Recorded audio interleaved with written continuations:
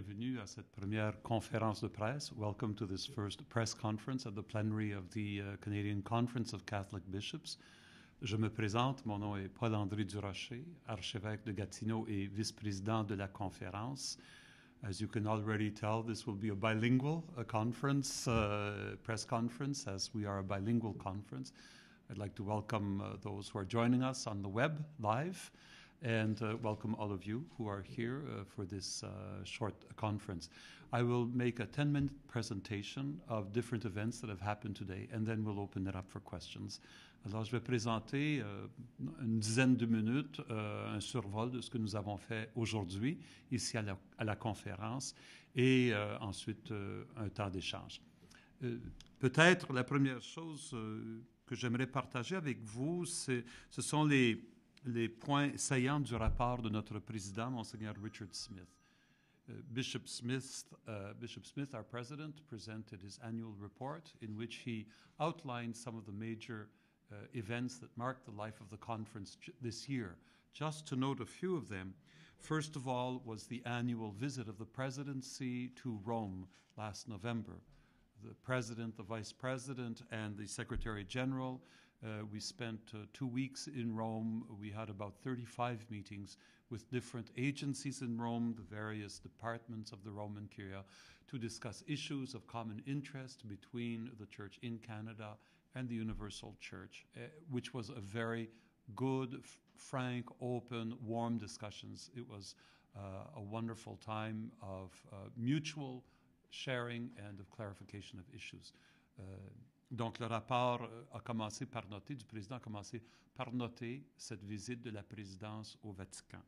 Le deuxième item, euh, c'est notre plan pastoral pour la vie et la famille. C'est un plan pastoral que nous avons euh, commencé à lancer l'an dernier. Les évêques veulent prendre un leadership sûr dans ce domaine-là. Alors, nous avons commencé à élaborer des outils et des éléments pour ce Plan National Pastoral. So the National Pastoral Plan for Life and the Family has been moving forward. I'll say a few more words about it uh, when I speak about our exchanges today. Third item, uh, the bishop reminded um, our conference of our visit to Haiti, the visit of the president and the vice president and one of our assistant secretary generals uh, to witness uh, firsthand the work that Development and Peace is doing in the reconstruction and the renewal of Haiti. Alors la visite, nous avons parlé de cette visite en Haïti en décembre dernier, où nous avons pu voir euh, euh, de, de visu le travail extraordinaire que fait Développement et Paix dans le milieu haïtien, surtout avec les partenaires à Port-au-Prince et dans les régions. Euh, ça a été pour nous vraiment une, euh, une découverte, euh, on pourrait dire, nous savions théoriquement ce que fait Développement épais, de le voir nous-mêmes a été euh, très impressionnant. Ensuite, notre président nous a rappelé la publication d'un guide d'éthique de la santé par l'Alliance catholique canadienne de la santé. C'est l'Alliance canadienne publie ce guide, mais ce sont les évêques qui donnent le Niki Lobstat. So the Canadian Catholic Health Alliance published a, a guide, uh, an ethical guide for healthcare. Uh, the Nihil Obstat was given by the CCCB. It was a work that involved a lot of collaboration between the CCCB and the Alliance because this guide really presents uh, fundamental ethical and moral issues uh, and to help Catholic institutions and Catholic doctors and medical workers to, uh, to be clear on their own understanding and their own practices uh, within life issues. Euh, nous avons aussi fait référence à la lettre sur la liberté euh, de conscience, la liberté de religion qui a été publiée il y a quelques mois. We published a letter on the freedom of conscience and of religion a few months ago, and the president referred to the ongoing actuality of that letter and its importance within the Canadian context. Enfin, le président a rappelé le congrès eucharistique international qui a eu lieu à Dublin euh, au mois de juin dernier. Le contingent canadien était le plus grand contingent international euh, qui s'est présenté à cet événement. qui a vraiment touché beaucoup de gens. Le président lui-même y était avec cette délégation de, de près de 1500 Canadiens et Canadiennes présents à, à Dublin. So the International Eucharistic Conference, we have two national delegates uh, who are uh, named and sponsored by the CCCB, who help coordinate uh, work around the International Eucharistic Congresses, and their presence this year was remarkable in Dublin. So that was uh, the report of the uh, president. I would like to move on just to uh, name some of the major issues we will be dealing with during the next four days. the president also outlined those. De quoi allons-nous parler dans les quatre prochaines journées ici à la conférence? Un des thèmes importants, ça va être le thème de l'immigration. Euh, c'est une question qui nous préoccupe comme évêque euh, depuis un bon bout de temps, les politiques du gouvernement autour de l'immigration.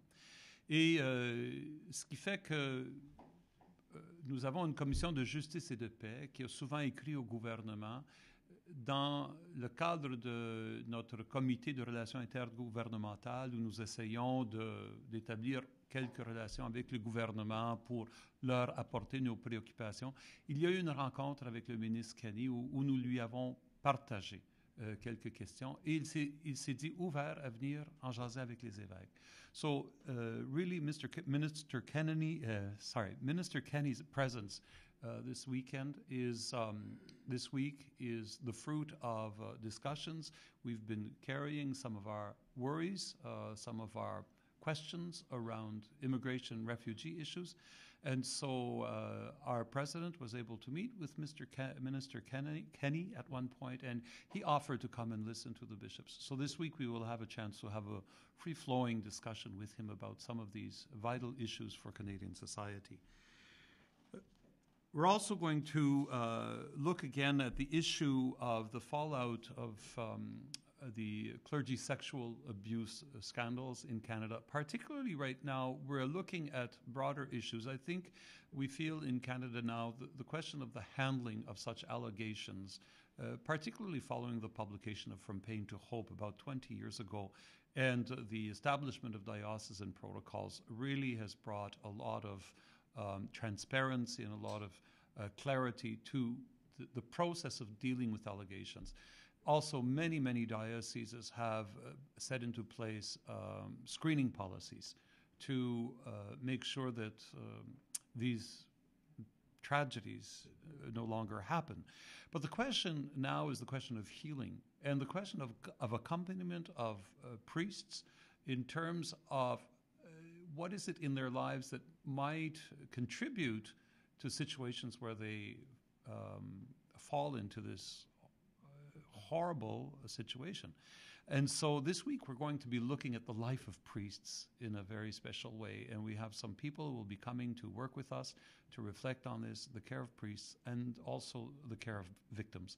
So um, uh, this will be an issue that we will continue to work on. Obviously, this is not finished. It's something that will be long term, but we are coming back to this issue today, uh, this week, during our conference.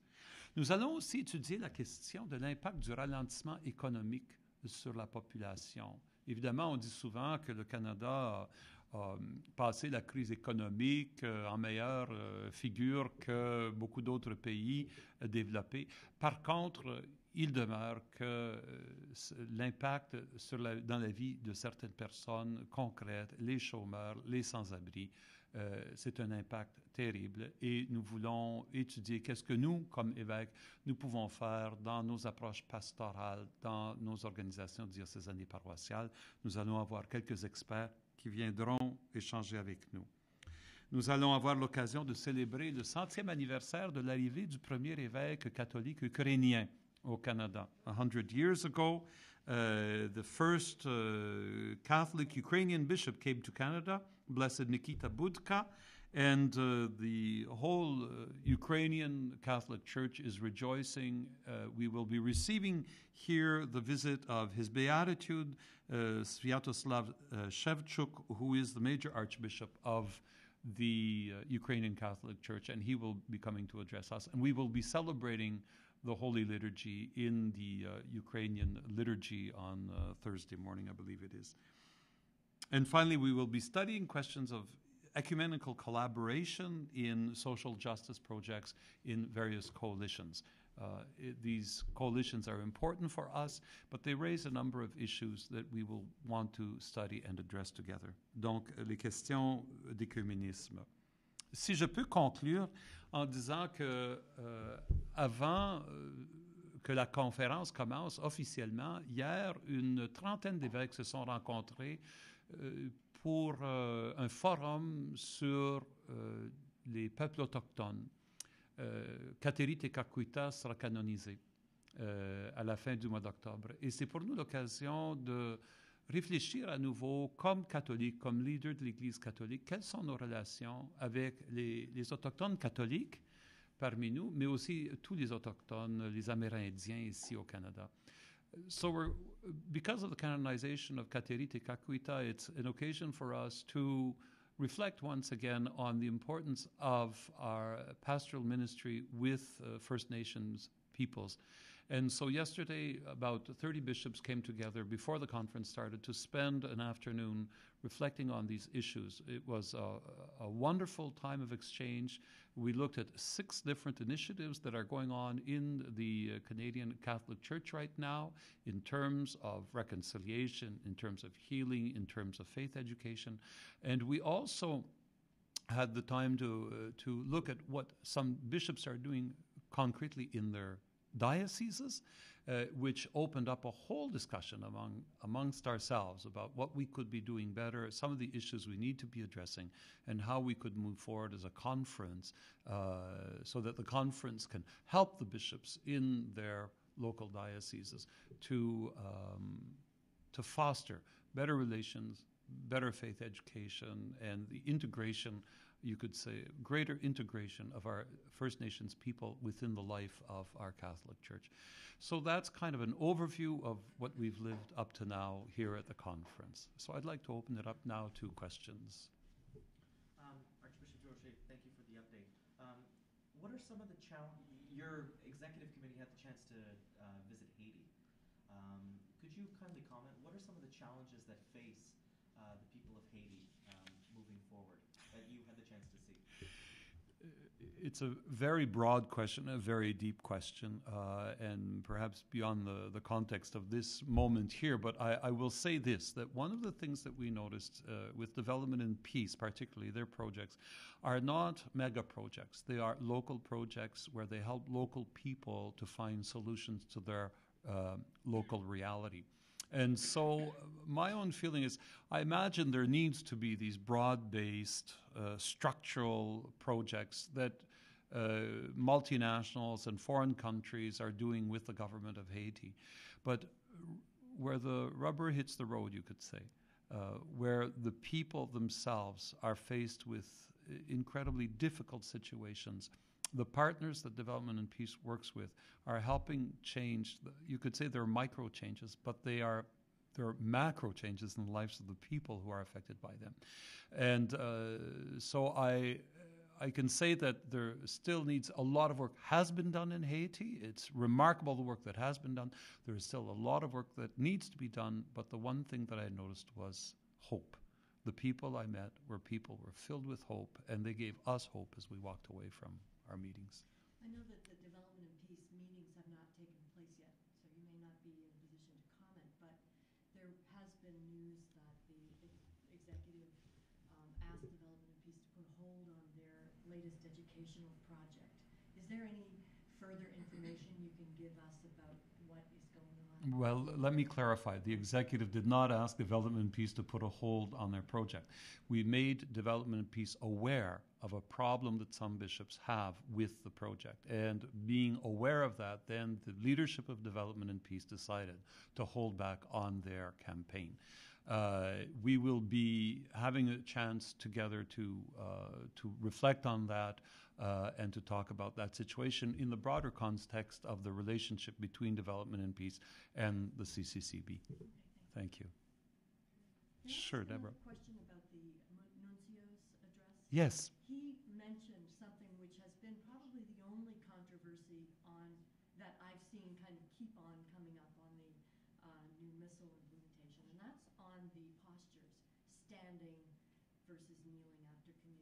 Yes. And then you also mentioned some things, uh, the difference between adaptations that are allowed versus those that aren't. Could you expand on that a little bit? Well, I, certainly the nuncio gave a 20 minute presentation uh, looking at the life of the Canadian Church from his perspective as the representative of the Pope uh, within the Canadian Church. And uh, in that context, he had one little sentence about uh, there has been the Missal is a wonderful gift, the New English translation, um, the implementation of the new. Um, directives, the uh, general introduction to the Roman Missal is going well. He says that one little issue has come up. It's because the Roman Missal does indicate that uh, when it comes to posture, when you read it, it seems to say that people should be standing until everybody's received communion. And there is a sense to that.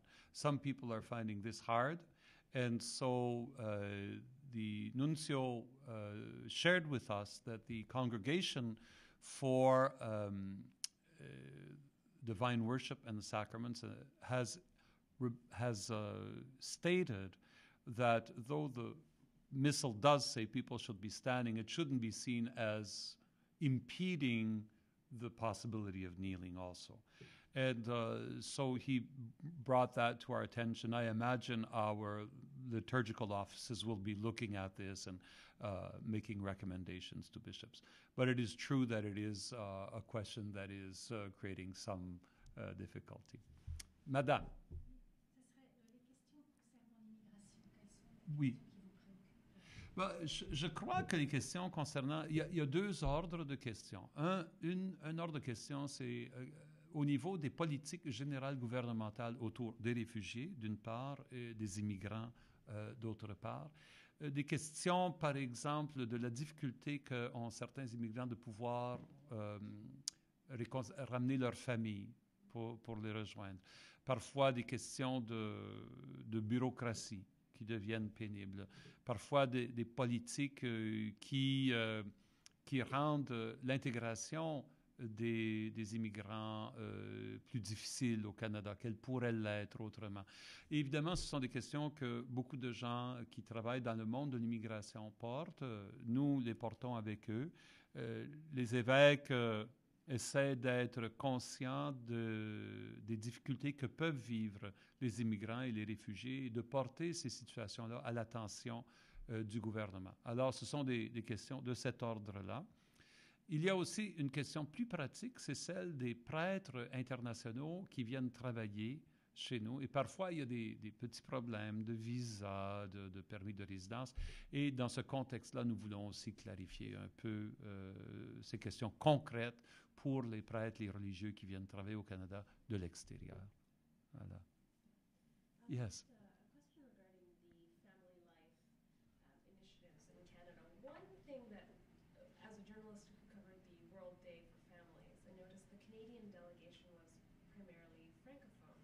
Yes.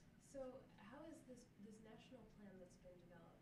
Is the aim of that is one of the aims to uh, ensure that next time we also have anglophone representation, or are we trying to bring up the uh, participation of the the, the, the, the national program uh, is not geared towards the uh, World Day for Families uh, in a in a specific way, you know.